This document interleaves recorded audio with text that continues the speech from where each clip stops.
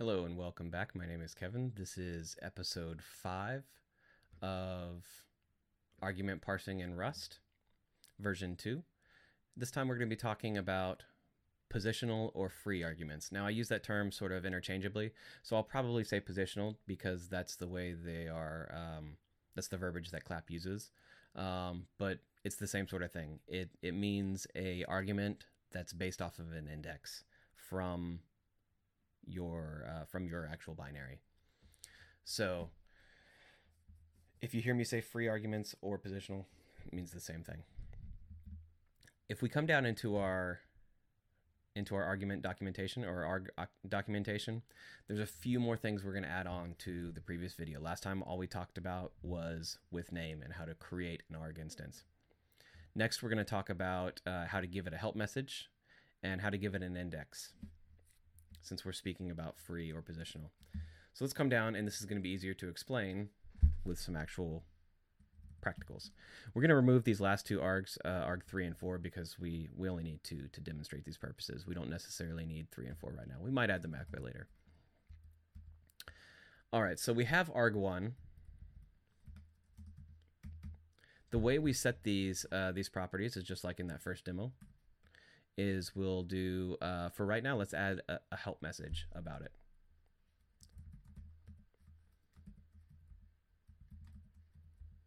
All right.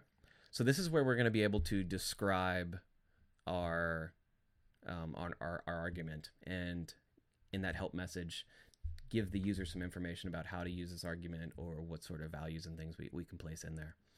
So we're going to keep this simple and say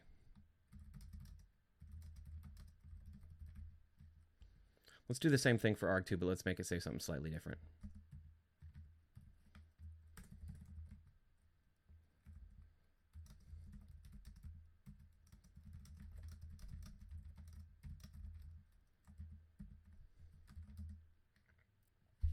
Okay, so now we have uh, we have some help documentation for our arguments. Let's go ahead and build this and see what what came about.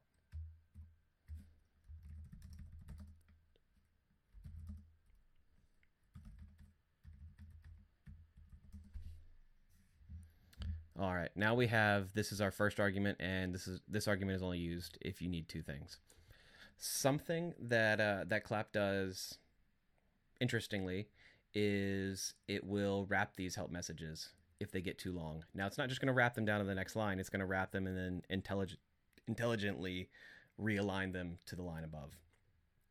Let's see if we can get that in action. Now it's only going to do this if it can determine the terminal width of the app of the terminal that it's being run in. If it can't do that, uh, it, there's a few courses of action. So let's make this a little bit smaller. And now let's rerun that help. And it should realign some things. There we go. So it realigned, it placed uh, this message on the next line and then indented it over. And then over here determined that it was too line too long to even do that. So it just placed it on the next line and then continued on. So something kind of interesting that Clap does automatically, and it makes your help messages look pretty nice. So having said that, I would keep it when you're creating help messages for your arguments, whether they be args, flags, anything. Um, you know, I would keep this part a reasonable length, um, but it's not to say that you can't go longer because Clap will just um, will simply wrap it whenever it sees that.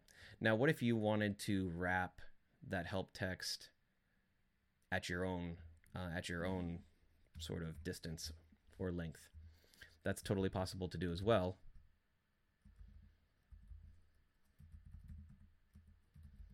You just place a normal uh, slash n in there, and it should wrap and realign. Let's try it real quick just to make sure.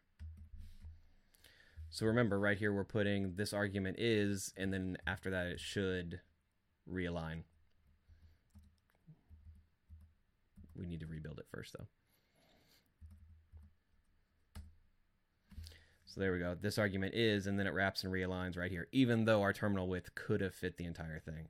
So just something to know and something that you can use uh, in your own help messages if you need to. I'm going to go ahead and take that out because we don't actually need that there for right now. So that's how you add a help message um, to your arguments. Let's also um, let's do something where we can make arguments required or not. All we have to do is add required true.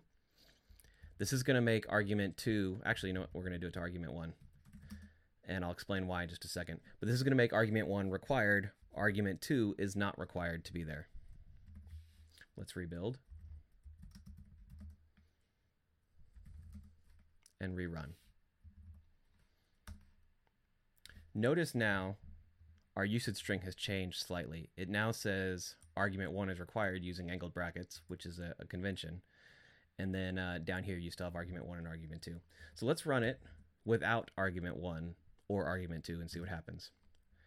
And here we'll get an error message saying argument 1 was required, but it wasn't provided. Here's how you um, potentially should have run it. So let's say something, let's just say 1. That's going to run just fine. What happens if we put 1 and 2 for arg1 and 2? That also runs. If we go into 3, that's where to get that same message saying, hey, um, argument 3 wasn't expected. Something to notice here about the context sensitive. Notice arg1 and arg2, whereas before, if we scroll up here into the message, you see args. Yet here it says arg1 and 2. This is because arg1 and 2 were actually used or attempted to be used. So the usage string went ahead and threw those in there for you.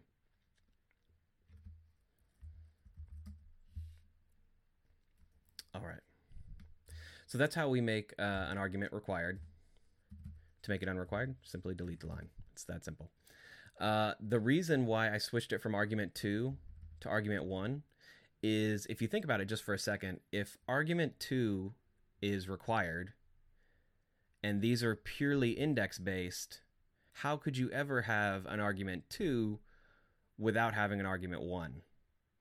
Now you might say, "Hey, I want to have some value at, that comes last be mandatory, and some of the ones before it are optional." As far as good CLI design goes, that's just not a good idea. Um, I can't say there in life there's very few absolutes, but in this one, if you're going to have something required, all of the indexed based arguments before that should also be required. Now, clap is going to uh, going to do that for you. So let's try that real quick. So notice here, argument 2 is required, argument 1 is not. Let's see what happens.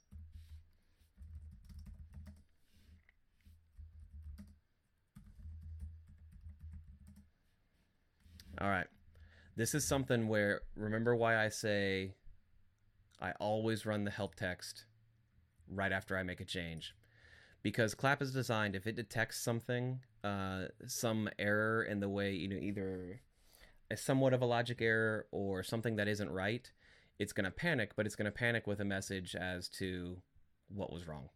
In this case it says found a positional argument which is not required with a which is not required with a lower index than a required positional argument i.e arg1 which is index 1 so what it's telling us is that you have a higher index that's required and everything before it is not required. Now, what we could have done when designing this is make all of the ones before that required as well. But I don't necessarily like inserting additional code for people uh, when that may not be what they're expecting. So instead, I would rather it panic. And it's actually going to panic unconditionally right now, even if we don't run the help text. Um, with you know a decent error message telling you what's wrong and how to fix it. So if we go back in here, the way to fix that is to either a just make this required as well, or remove the required requirement from arg2.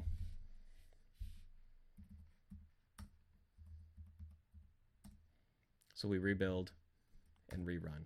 Now we have two required arguments. Notice again the help the usage string changed. arg1 and arg2 are both required. If we do arg1, arg2 still isn't there. If we don't do any, it'll tell us both arguments were required but not supplied. So now on to indexes. Remember before, actually let me remove these requirements. Remember before we hit we tried to place arg1 after arg2 and it can make your usage a little bit confusing. So there Clap has something called indexes. you can give an argument a specified index. In this case, we're going to give arg2 an index of 2 and arg1 an index of 1. Now, before, we never specified an index. In, in that instance, clap just assigns the next one available. So it was 1, 2. It was just behind the scenes. Uh, in this case, we're physically specifying we want arg2 to be index 2. We want arg1 to be index 1.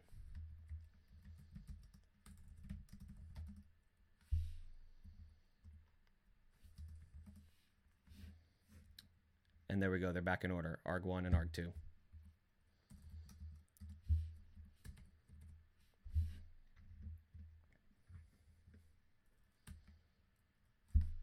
All right. So that's how we can define an index um, for a, a specified index. Now, uh, I didn't say it before, but indexes are one. They are based off of one, not off of zero. So that's a very, very, very important distinction. Uh, indexes start at one. Why is this? It's because index zero is usually your binary application. Uh, so index one is the first possible argument. Now, if we had other kinds of arguments in there, let's say flags and options and subcommands and all those things, these indexes only reference free or positional arguments. That's it. They don't reference, they're not in relation to any other style of argument, only to free or positional arguments. So we could have arg1 and arg2 and then 50 other arguments in between their flags and all kinds of other stuff. But these are still going to be free or positional index 1, positional index 2. All right. The one last thing I want to talk about before we move on to our next topic is uh, multiples. Now, multiples is somewhat of a confusing topic, so we're going to gloss over some of the specifics right now. Uh, but I simply want to say that you can have a single argument with multiple values. The way you do that is using multiple true. Now that we have multiple true, arg1 is going to accept multiple values. If we rebuild this,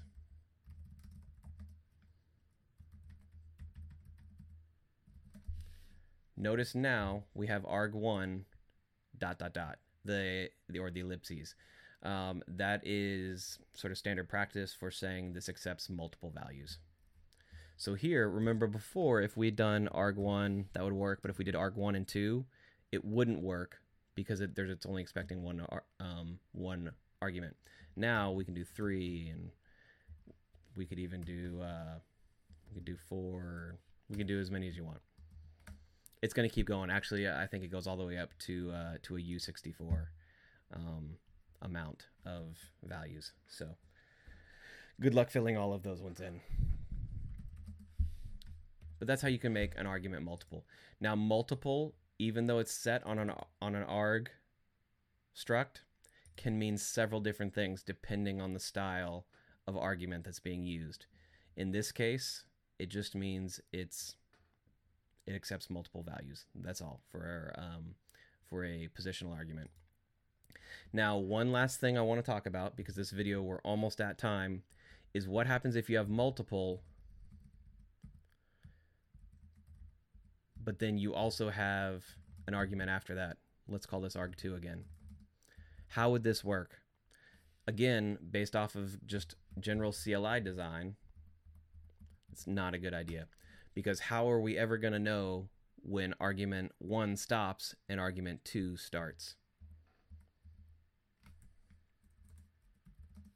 we're going to get that same panic, although it's going to have a different message. It's going to say only the positional argument with the highest index may accept multiple values. So over here, if we just simply move this to here, now arg2 accepts multiple values, arg1 does not, and this should work.